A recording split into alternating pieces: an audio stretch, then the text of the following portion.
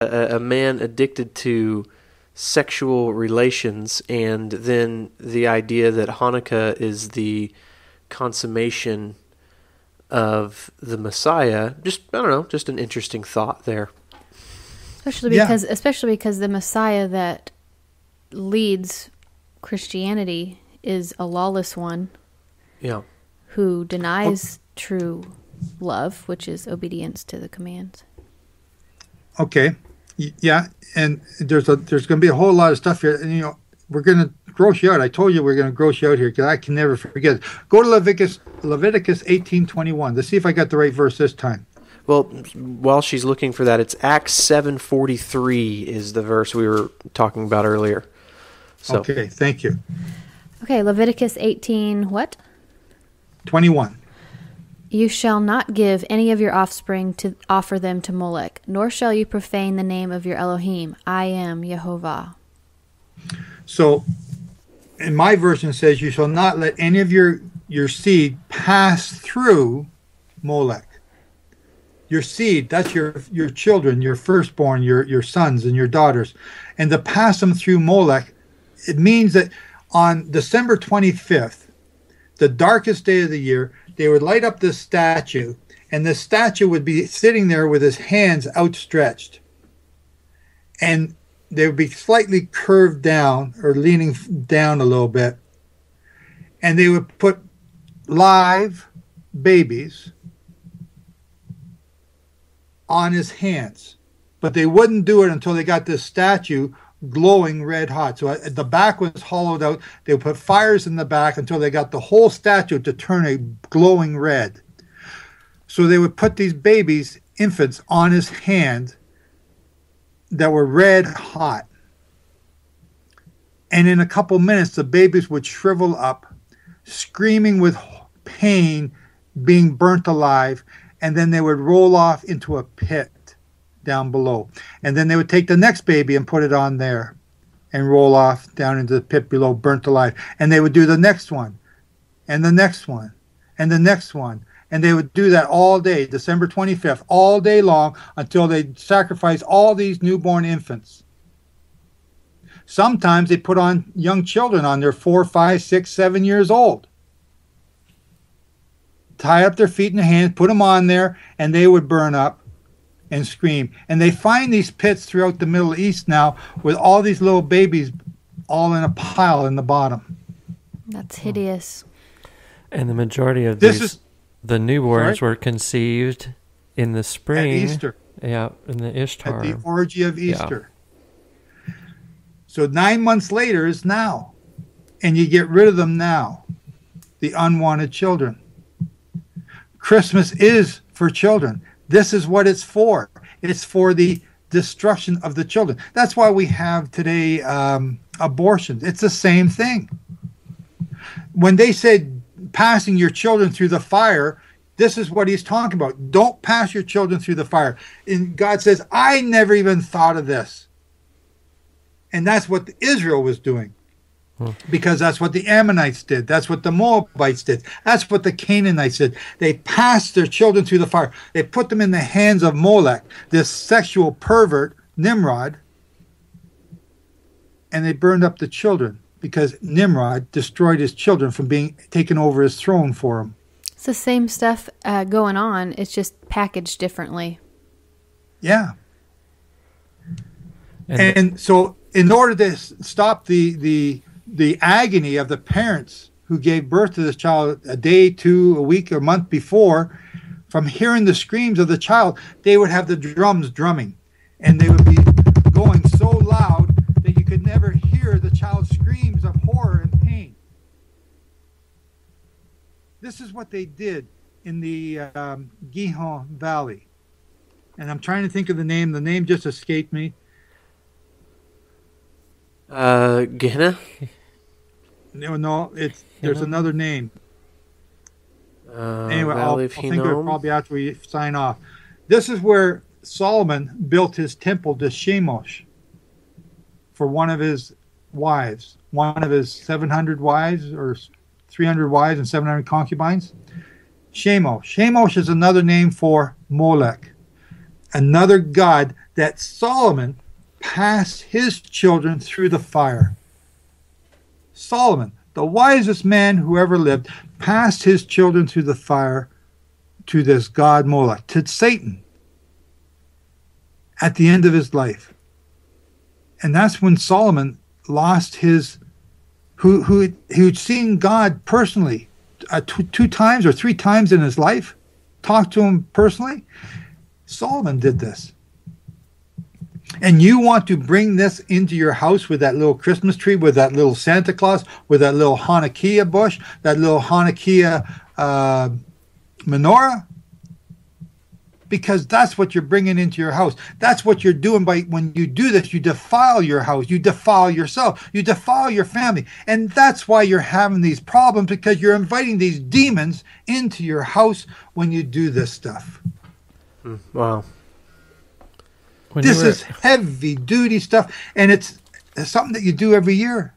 yeah, when you were talking about Molech, I just had an image of being at the mall and seeing this line of kids waiting in line to sit on Santa's lap, and Yeah. the image image is there. You don't I don't even want to go to that image, but yeah. Um, let's see what. There it is. Second Kings twenty three ten. Found it. Second Kings twenty three ten. All right. Do you want me to read that? Yep. He also defiled Topheth, which is in the valley of the son of Hinnom, that no man might make his son or his daughter pass through the fire for Molech. And this is talking about Josiah. Yeah. So Hosea destroyed this Tophet. This is what Tophet is. Go and look up Tophet. Go and study Tophet. Expand it out. Ex- it's in the Gehenna Valley. That's the valley of Ben Hinnom. Gehenna. Tophet. That's where they did this. So when I walk down this valley, as I get down near the bottom, I think about this. This is the place where they stood there on the statue. They brought all their infants. They put them in these red hot hands until they screamed. Now, when Israel got chased out of uh, Israel by the Assyrians and captured, a bunch of them fled to uh, Carchemish, which is on the north coast of Africa. I think where Tunisia is now. And they set up this statue again, only bigger. And it became a national symbol for the entire Mediterranean Sea. Israel did this. And when the Romans found this, they were so grossed out by it that they destroyed that whole land and they salted the earth so that nobody would ever do this or live there again. But then the Romans started taking on the same holiday in a different shape.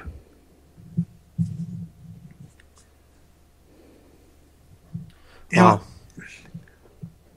when Jehovah said, Do not add to my Torah, do not add. It says it in Revelation 22, I think it is. Anyone who adds to this book shall receive a curse. You don't add to Torah. Yeah. You don't add Christmas. You don't add Easter. You don't add Hanukkah. You don't add a Hanukkah bush. You don't add a Christmas tree. You don't add balls. You know, the balls represent the testicles of Nimrod. And either way, if you add or take away, you're going to fall off that narrow road that is his word. Yeah, you know, I got a I got a post here today from somebody. Yeah, the fact that there's a highway to hell and there's only a stairway going to heaven. Yeah. It tells you something about, you know, broad is the way that leads to to damnation, Yep. but narrow is the gate going to Jehovah. So we got to be careful what we do. These are tests. Remember, we started in the first part of the show talking about tests. Are you going to love Jehovah? No, we're going to just bring Jesus back in the Christmas. Well, that's not loving Jehovah. Yeah. That's following Satan. No, we're going to keep Hanukkah. We're going to keep the pure Hanukkah, like the Maccabees did. That's not following Jehovah. That's following Satan. You know, Joseph, You're it's defying. You're interesting. bringing. when when You're you bringing demons into your house by doing this. Sorry, Mitch. yeah, well, ahead. no, I, I just was thinking it's interesting because if you judge a tree by its fruit, you know, Stephen was calling calling these people out for worshiping uh, idols, basically, and to, and today when you call out Hanukkah, the fruit that's brought out of the people who stand for that holiday is much the same. It's hatred. It's it's accusations. It's uh, I mean it, it's just it's absolutely nuts to see. I mean literally, it's like these people would stone us if they if that was acceptable in our culture today because we're calling out their mighty ones and their holidays that are not in Torah. So what they're doing is exact. Well, here's I got another verse here in Ezekiel, Ezekiel twenty three thirty nine, and Krista, if you want to go there and read it, it. But they're doing exactly the same thing today as they did then. You know, they they they worship or they slay their children at Molech on December twenty fifth or Hanukkah. And then the next day they come into the temple and make their sacrifices as if it's all normal to do both. For when they had slaughtered their children for their idols, they entered my sanctuary on the same day to profane it, and lo, thus they did within my house. They'd mixed Jehovah's worship with the worship of Moloch and thought that that was all fine.